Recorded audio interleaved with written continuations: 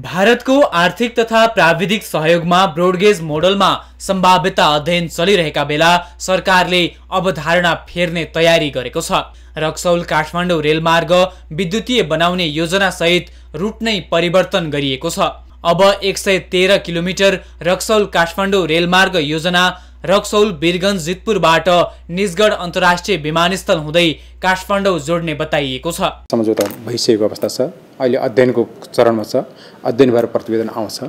नेपाल सरकारलाई प्रतिवेदन आइसकेपछि त्यहाँ आएका कुराहरू हामी यहाँहरूसँग सेयर गर्नेछौँ। ब्रोडगेज मोडलमा भारतले केही महिनाभित्रै सम्भाव्यता अध्ययन प्रतिवेदन बुझाउने तयारी गरेको छ। तर यसमा खासै प्रभाव नपर्ने भन्दै रुट परिवर्तन गर्न खोजिएको छ।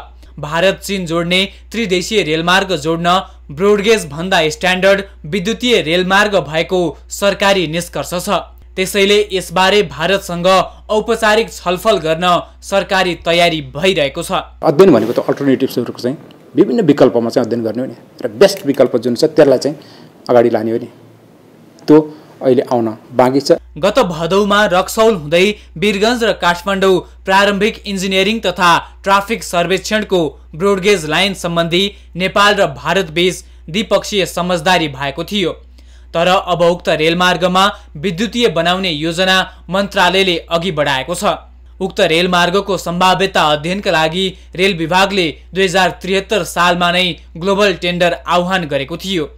तर पछि भारत आफ्नै आर्थिक र प्राविधिक सहयोगमा नै सम्भाव्यता अध्ययन गर्न सहमत भएपछि रेल विभागले सो टेन्डर रद्द गरेको थियो। क्यामेरामा मदन सापकोटाका साथ टिभी जर्नलिस्ट पवन तामाङ काठमाडौँ।